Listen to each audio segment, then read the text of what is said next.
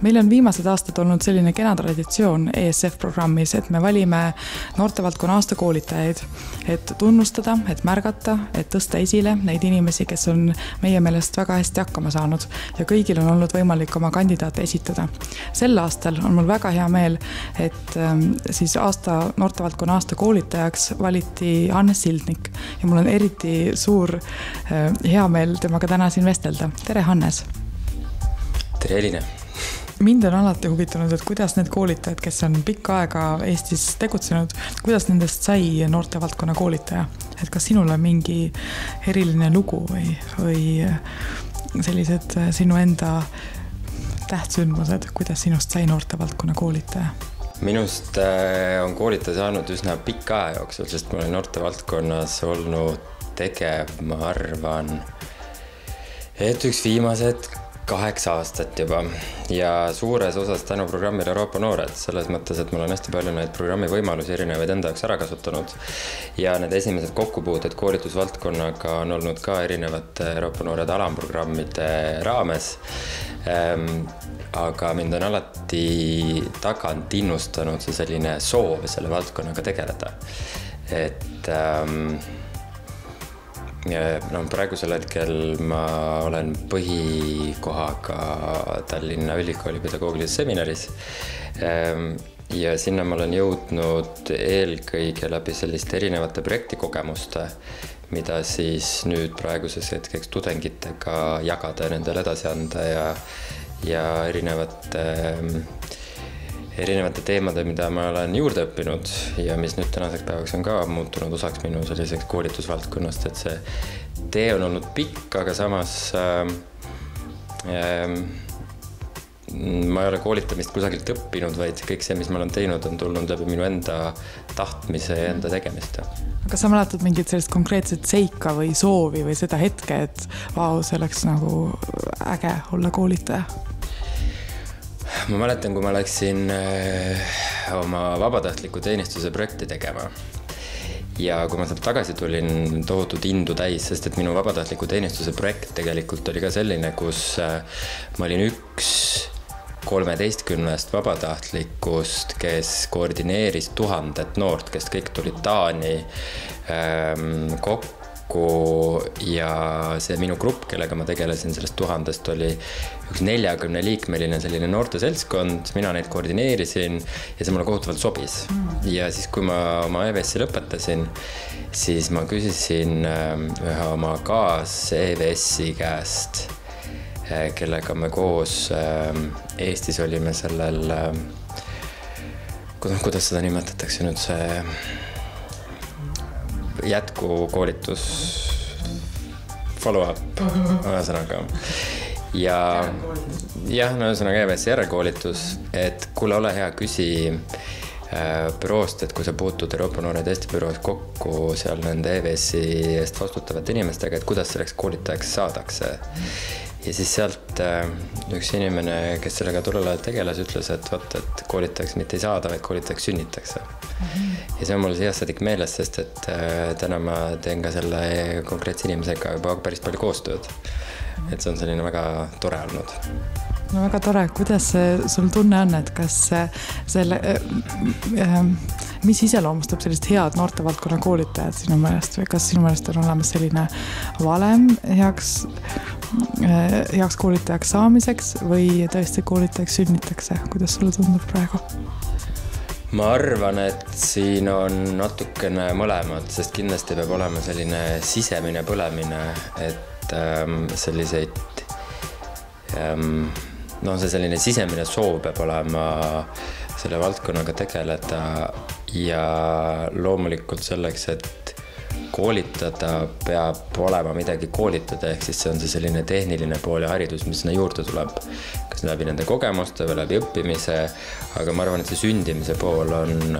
on kindlasti väga oluline, sest et ma arvan seda, et igas koolituses peab olema natuke sellist tsirkuseartisti ja seda võib juurde õppida, aga seda on võib-olla natuke keeruline juurde õppida, et.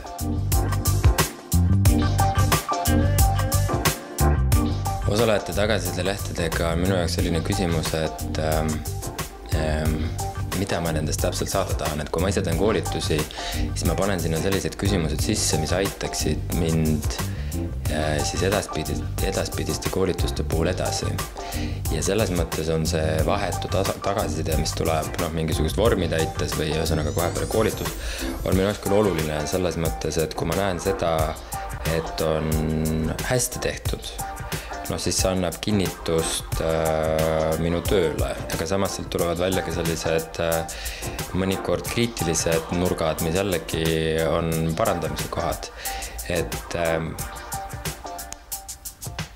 see vahetu tagasiside, mina arvan, seda minu jaoks on see küll oluline, sest et mõndade koolituste puhul seda, mida need osalejad selle koolituselt saadud teadmisega pihta hakkavad, seda mina ei pruugi näha.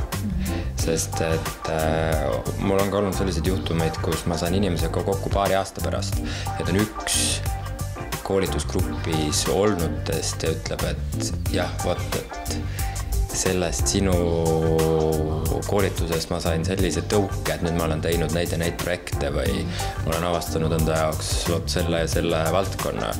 aga neid on väga üksikuid, et kellega pärast koolitust selline kokkupuude on.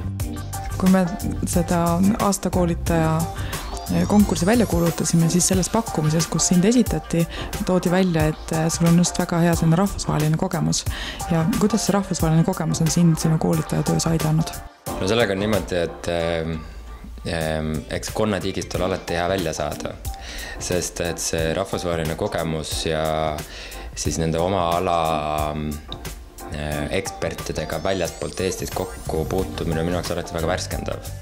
selles osas, et äh, ma näen sealt seda enda arenguvajadust, et kuhu poole edasi minna, edasi liikuda. teisest küljest seda, et mis on sellised äh, no rahvusvahelisel tasandil olulised teemad, näiteks on see noortepoliitika või noorteinfo või ähm, mida on lihtsam jälgida, kui sa puutud rahvusvahelisel tasandil kokku ja noh, nagu lihtsam kursis olla. Ja teisest küljest on ka sellised uued tuuled äh, äh, ma ei tea, mingite meetodite osas või mingisuguste selliste lisaressursside osas, et selles mõttes on see rahvusvaheline kogemus alati selline sõõm värsket õhku, mida ma arvan, et iga iga koolitaja peaks kindlasti saama ja noh, mitte ka koolitaja, vaid neid igasuguseid selliseid teiste inimestega kokku puutuvaid ametikohti on väga palju, et selline juurde õppimine, juurde saamine, ringi liikumine, see tuleb ainult kasuks.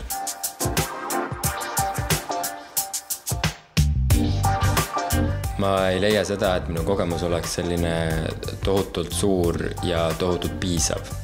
sest et minul on niimoodi, et mida rohkem ma käin, seda rohkem ma tahan ja seda rohkem ma arenen. mis ei tähenda seda, et igalt poolt, kuhu ma lähen, ma midagi saaksin, on need õppevisiidid, teised koolitused, sest et paratamatult on ka see, et see selline enda noh, see kriitiline silm muutub veel kriitilisemaks, et see ähm, kogemus mis minu jaoks oleks olnud tohutult köitev võib-olla viis aastat tagasi, võib-olla tänasel päeval ma vaataksin selle peale selliselt, et natukene igav aga kindlasti veel kord on see, et,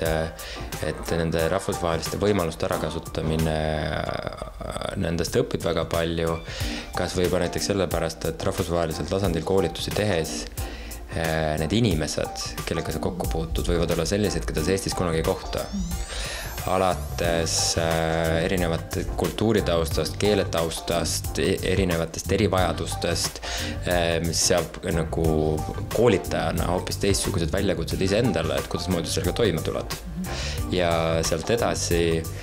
ähm, noh, ka sellised ähm, arengu järgmised etapid iseenda jaoks sa nimetasid kriitilist silma ja võib-olla on just äh, hea hetk vaadata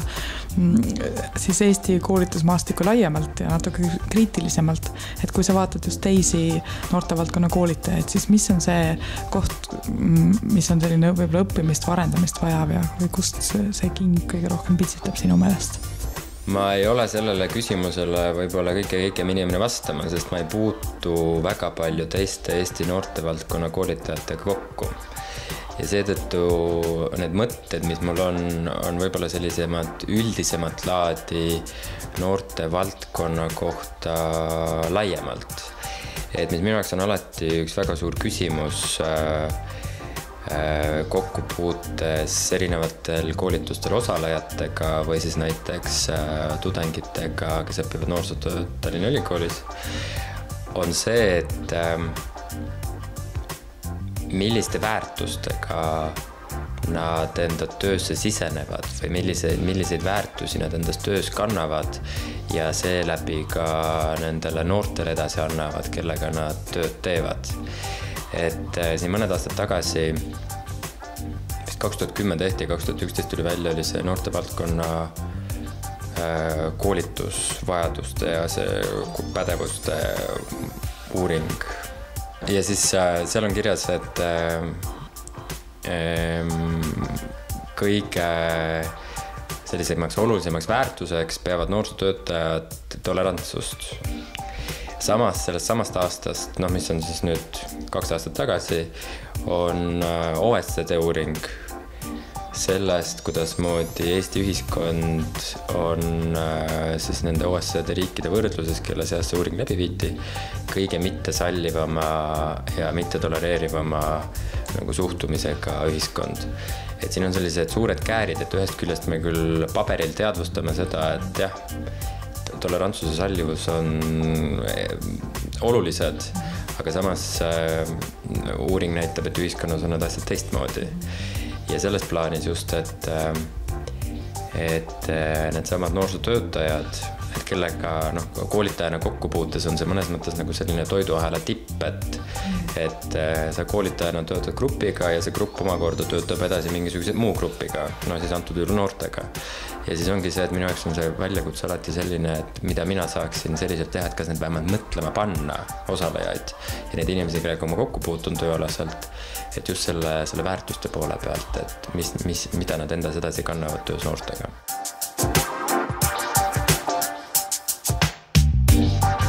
ma arvan, et hästi suureks õpikogemuseks on kindlasti seesama rahvusvahelisus, millest me siin enne oleme rääkinud, et ma arvan, et mida rohkem Eesti noorsootöötajad puutuvad kokku väljaspool enda küla ja väljaspool enda linna ja sellist harjumuspärast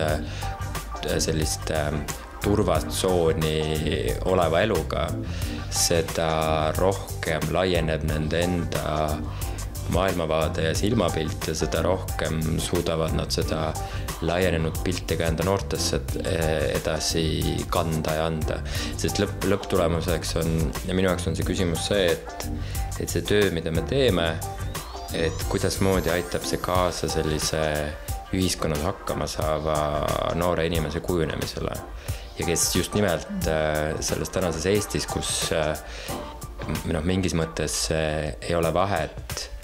kas sa tähendab noh, selles tänases ühiskonnas, et kui sul ole vahet, kas sa elad Eestis või väljaspool Eestit, et äh, kas see Eesti noor on selliste äh,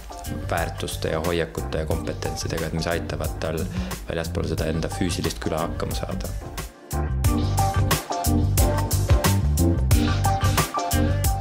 väljakutseid on palju, aga üks selline keeruline moment, ma arvan, millega kõik koolitajad on kokku puutunud, on see, et äh, kui sa oled ähm, suure töö ära teinud ja koolitusprogrammi otsad kokku tõmmanud, siis seda, enne me rääkisime sellest tagasisidest,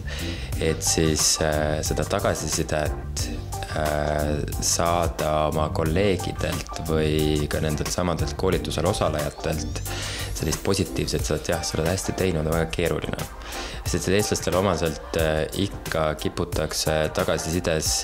panema hindeks neli, selle asemel, et panna viis ja põhjenduseks on see, et alati saab paremini. aga keegi ei täpsusta seda, mida saab paremini või kuidas saab paremini.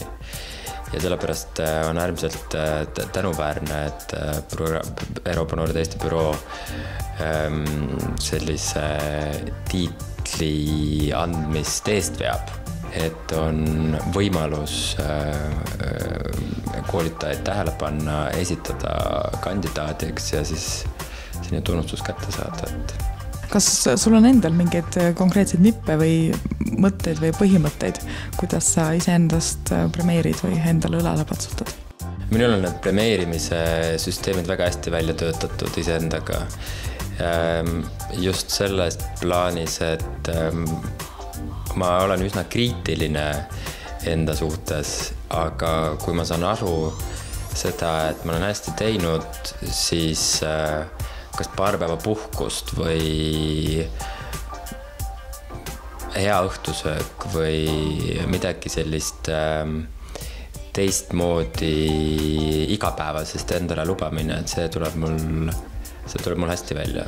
sa teed seda teadlikult, et sa tead, et sul on seda vaja? jah, ma teen seda teadlikult, sest minu jaoks on see üks selliseid toimetulemise viise. sest et neid hetki, kus äh, ennast äh, juustest sakutada, ka minu puhul äh, neid hetki on küll ja küll ja siis nende seast üles leida need, et kus vastupidi tuleb pai teha, et just minu jaoks on see väga suur oskus, sest et seda, seda kriitilisust võib, sellesse võib ära uppuda vastasel juhul. ja üks asi tuli mulle veel meelde, et kuidas endas seda sädet sees hoida, vähemalt minu enda jaoks on see, et tööd peab tegema südamega, aga ei saa võtta liiga isiklikult. Niimoodi, et ma oleksin võimeline õhtul kell kaheksa uksi kinni panema, minema koju ja tegelema hoopis millegi muu asjaga. et mitte jätta enda peas ketrama seda, mis on päeval juhtunud. Et see oskus, et ennast niimoodi välja lülitada, et see on väga oluline. Aitäh sulle, Hannes, oma mõtteid jagamast, oma koolit-, koolitaja sellist tööriistakasti natukene paotamast meile ja jagamast oma mõtteid Eesti noortevaldkonna koolitusmaastiku kohta